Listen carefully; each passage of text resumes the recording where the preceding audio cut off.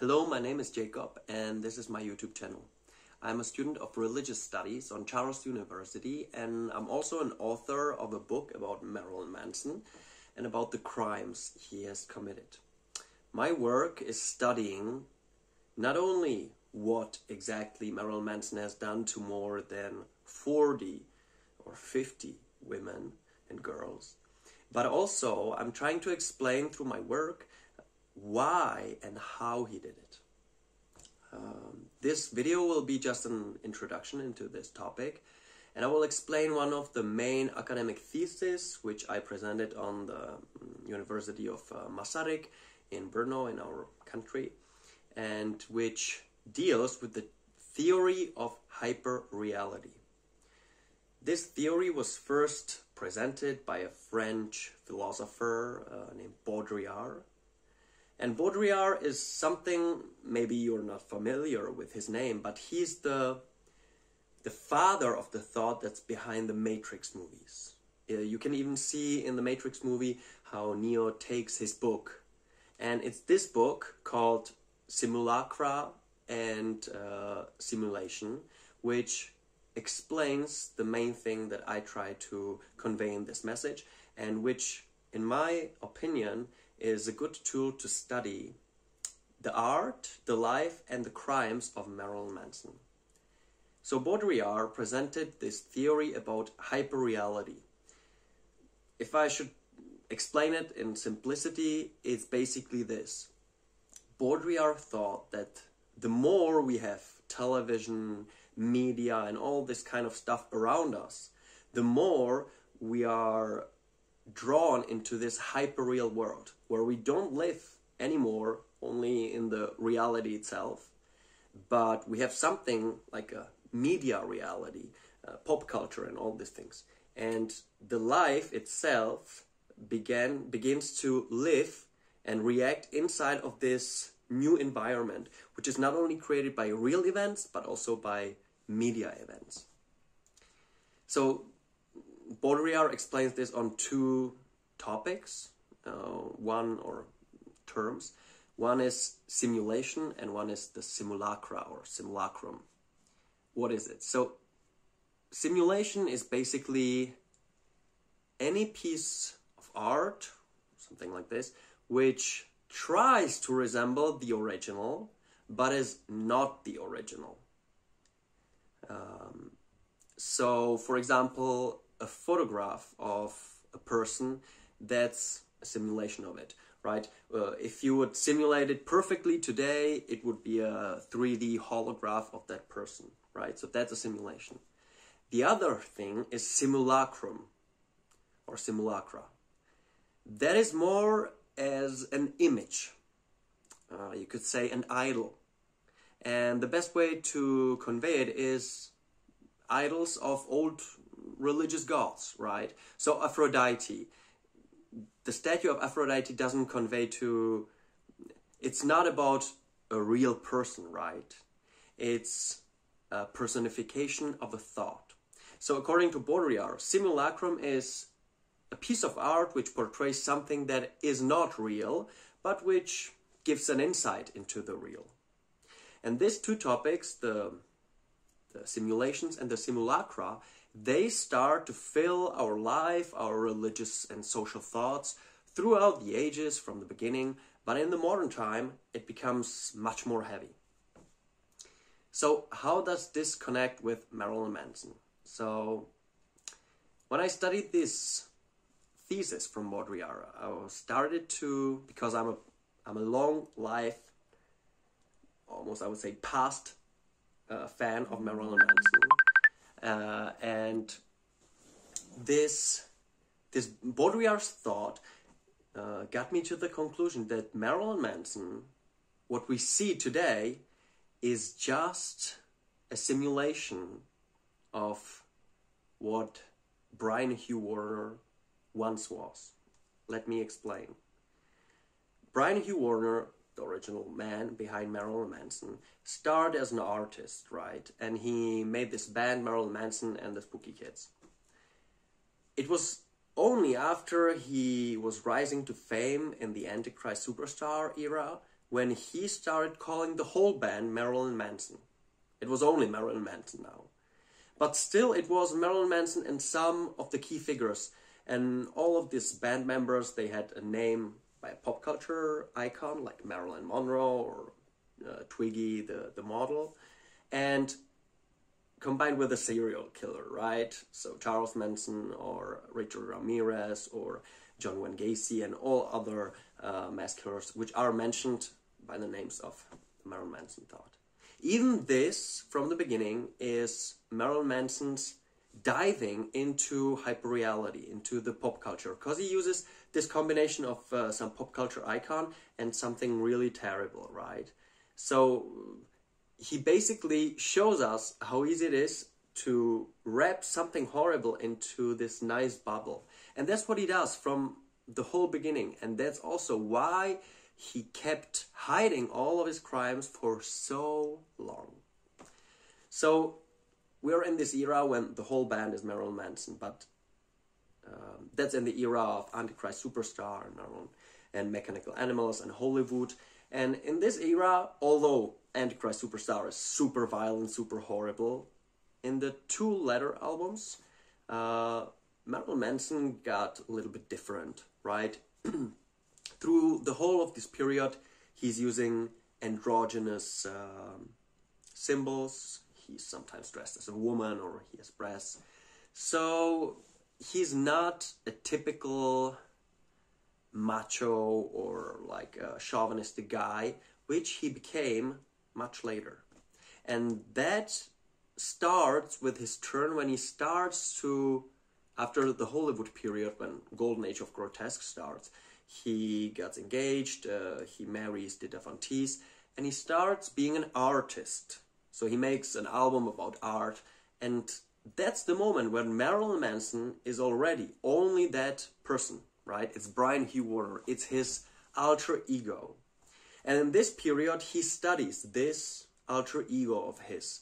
One of the best examples of this, even hyper real studying, it almost seems that Manson read Baudrillard because sometimes he's mentioning things about uh, his theory.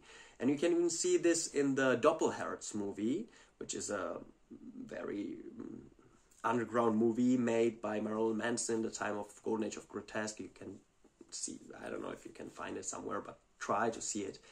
And there he explains this weird combination of being a real physical person and an artist and he study he starts studying about the boundaries between reality and art because art that's the the media that's the show thing right and reality is something else but he starts thinking how to merge these two things how to create this hyper real loop and by this he stops recognizing between what is Marilyn Manson and what is or in this point of time was Brian Hugh Warner.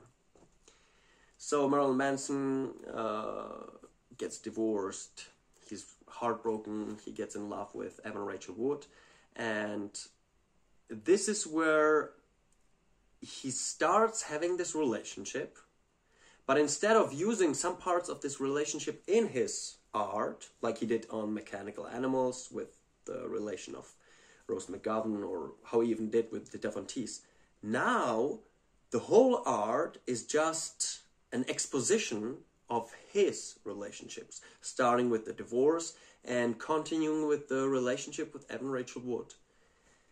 In this point of time, Marilyn Manson starts using all those informations from the Doppelherz movie and from this part of the philosophy, where he decided that the boundary between what is art and what is everyday life or real life should be dismantled like put away and that that's the real art only what is life itself and in the Doppelherz movie he explains this that basically he has to become what was only originally the the show persona Marilyn Manson. He has to become this so that he doesn't become some kind of a showman. He wants this barrier between his super persona which he plays only on on the podium to be in his real life to merge these two personalities. And that is in the time when he gets into the relationship with Evan Rachel Wood. He starts romanticizing uh, serial killers again like he did all of his uh, art. But this time it's different. And even we have many evidences of uh, his speeches when he's talking about having plans to commit uh, suicide with his lover. Probably it's Evan Rachel Wood because we have information about that. And we can see the thoughts that started over at Antichrist Superstar in the song Mr. Superstar. Marilyn Manson always played with the thought that he would commit suicide on the podium, on, on the stage. It's in all of his songs, you know, like in this song Mr. Superstar where he sings like, oh, I wanna uh, that you kill yourself on TV, you know. And that was his thought in this period with Evan Rachel Wood that maybe they could commit this romantic suicide. Remember, he was heartbroken. This is his only album which goes inside of him. You know, he's deeply ashamed of this album because it shows so much about him. That's why he doesn't play the songs from the from this period anymore. And that's a key to his to his understanding. So, in this period, he wanted it to end somehow, you know, according to his vision. But it didn't go out that way uh, he thinks that at the Eat Me Drink Me in the end, you know, she was she was supposed, you know, to get to the suicide, but the ending uh, didn't test well, you know, because Evan Rachel Wood she went away from him after a massive period of the first uh, abusing, which happened on the tour of Eat Me Drink Me, because in the time of making of the album, we don't have many allegations even from her about that. So that happened on the tour when he was a a lot of drugs involved and they were moving from one place to another and so on. So then she's going away and that's something that struck him, right? That well, he was heartbroken again. So after he lured her back, he got her back for several more years, for the whole period of High End of Low, which was the next period, he started figuring out a revenge for her. And that's what the whole album High End of Low is about. And that's the album when Marilyn Manson himself started using this hyperreal theory.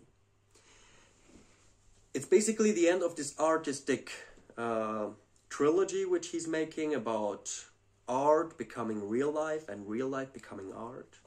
And he started, he started, uh, I remember it myself, posting on his MySpace social network uh, photos, for example, of uh,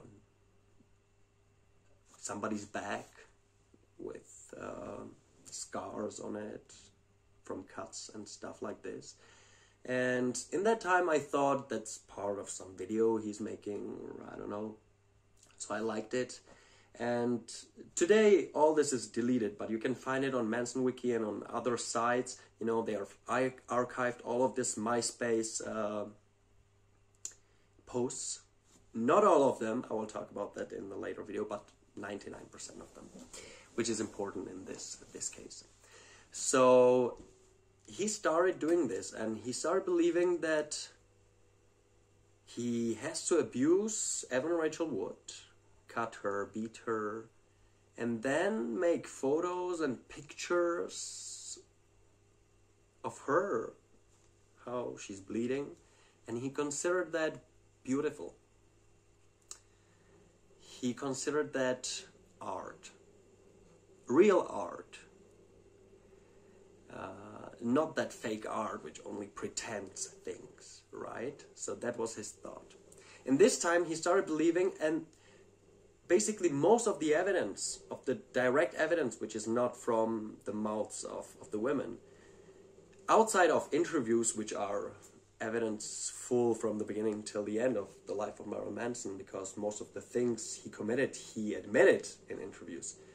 Uh, the most part of evidence is from this period, High End of Low, and of his social network posts because there you can clearly see from the time of High End of Low till all over the Born Villain period. you can see how he's posting things in this drug using uh, binges. It always starts somehow about art, and then the next days it becomes heavier and heavier, right? And uh, it always ends very bloody. Then you have some period while he mostly sleeps, and then it gets over again. And this time, he really started believing that the goal is to kill Evan Rachel Wood and make an album about it and then blame her that she committed suicide, which is a perfect plan almost. And we have even evidence from the person who lived with Marilyn Manson in his apartment and from Evan, which doesn't have to be objective, but we have these another evidence, and also from Marilyn Manson himself when he talked about the songs from the times of High End of Low and about the song Devour.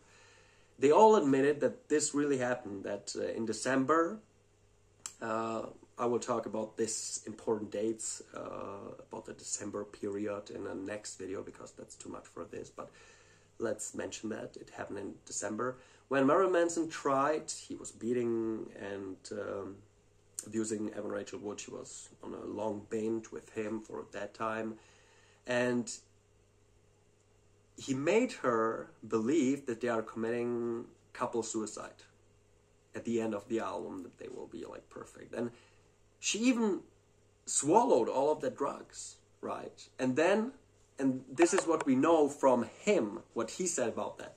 He said, yeah, but then I thought, he told her, I'm not the first one, you know, because I don't trust you, so you first. So he made her do it first, and then he thought, well, maybe it's uh, like a mess to to kill myself why should I do that? And then this uh, guy from living in the apartment came, and it's not clear totally what made Marilyn Manson call the ambulance, but we know that Evan Rachel Wood was hospitalized, that it was this uh, attempt of suicide in that period, and uh, I think after this, this was I think the last or pre-last moment she was with Manson uh, because this obviously was horrible.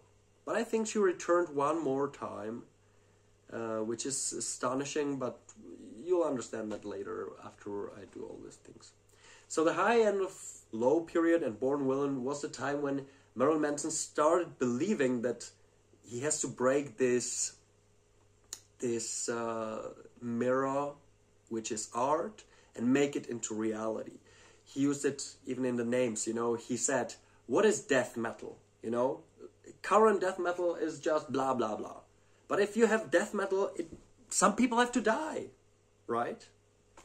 Uh, or he said, We're making killing songs, you know. But it has to be real, right? And it's important to mention that the first, one of the first incidents in Manson's life, the infamous Columbine shooting, which presumably was not connected to him, is not the only massacre which occurred around Marilyn Manson. Uh, there is a school shooting in the early 2000s, in the early millennium, which is connected to him, and the shooter had his T-shirt. Uh, it's in the same time, or around that time, when he makes this uh, song, don't forget, Marilyn Manson has a song where he directly says, so, you know, give me a picket sign, uh, take a gun, you know, go shoot out a school or a mall or shoot a president of whatever, or whoever wants to fight. And in that period we have this, but we have also other killers. We have several killers, you can find it on Wikipedia about Marilyn Manson. Uh, several killers who killed because of his songs, or at least they said they did it because of this or because of his paintings. One of these paintings that's interesting is the painting when Marilyn Manson used Evan Rachel Wood and he portrayed her as the Dahlia, as the murdered woman, and he was like romantically telling her how he would kill her and that she will die and stuff like that. And this painting particularly inspired another guy who who used it basically to to kill his girlfriend. Uh, so you can study this. There are several massacres attributed to Manson, and around 2013 he starts counting his death count because he starts admitting, okay, maybe my plan is really sharing death, you know, but at least I'm real. That's what he was saying. And this, I believe, to be the consequence of this hyper reality itself, because don't forget one thing. We, every one of us, have the internet, have all the media or the commercials on the streets. We're constantly bombarded by informations and stuff.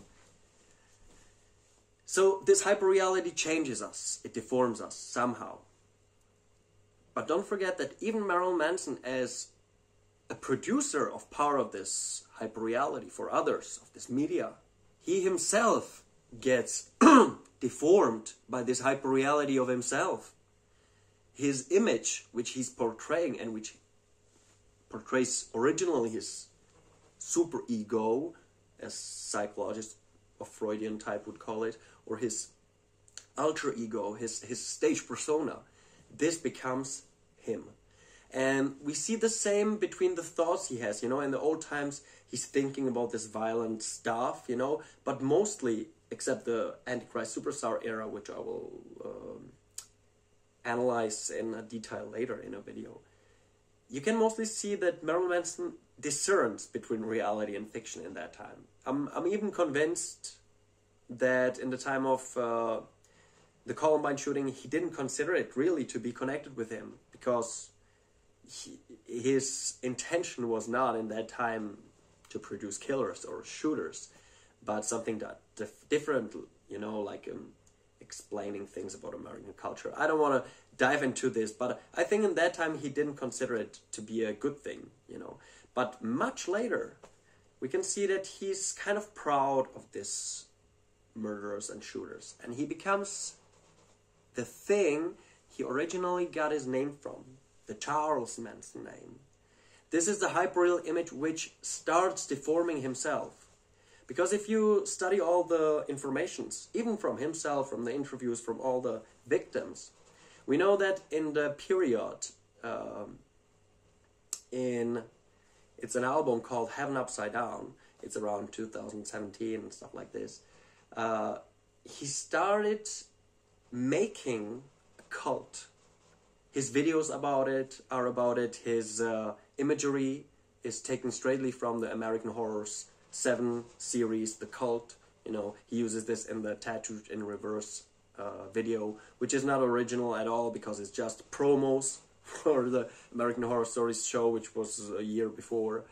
And but Marilyn Manson uses all of this. Many of the groups which are connected of the fan groups are called Cult of Marilyn Manson or Family of Marilyn Manson. Don't forget Charles Manson's uh, group was named Family.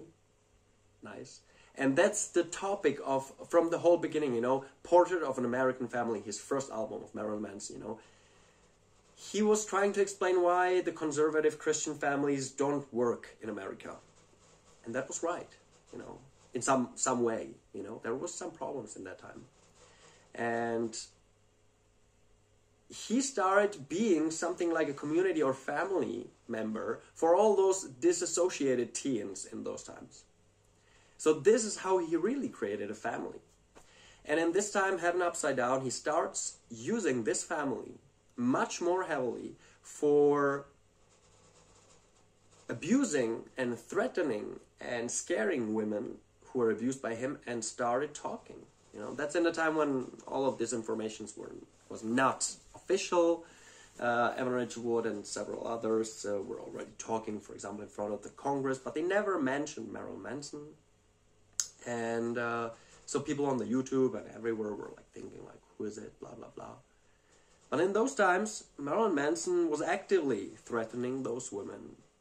Uh, we hear about it from the women, and now, again, you can you don't have to trust that. But you can see in the same time when the women say they he was threatening me with things like I know where you fucking live and giving his fans addresses of my house and stuff like this.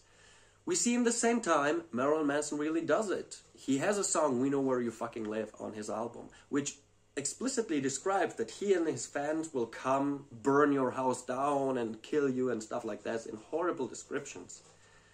Uh, and this song is followed by another song where Marilyn Manson, it, it's a song called Kill for Me. And it's a song for all of his fans where he's saying, you know, I won't be kissing you if you don't kill for me. So will you kill, kill, kill for me? And all the fans on the on the on the shows they always do like, yeah, I will kill for you. And that's a way how he used his hyperreal image the hyperreal family community he has created to even further you know he was making art about threatening this women he has abused. And he was using this art the same art not only about informing them, them about this but also as an encouragement for his fans. He was sending emails which uh, were saying this you know and stuff like this, connecting all, all the dots with we know where you fucking live, you know, kill, basically killing.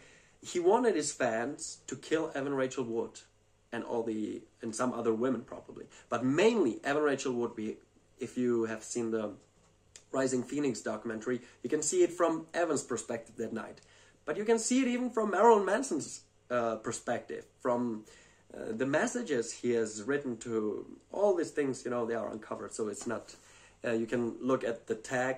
Um, that's very important. Study all these informations for yourself. You know, look at Manson is abusive or Marilyn Manson is an abuser or stuff like this. Always tag it. It's on Tumblr or Twitter. You know, they have great, like hundreds of informations you can study for yourself and use it for your theories. But according to what I've seen, he started using his art in a profound way which some would say revolutionary, but which basically comes back to Charles Manson.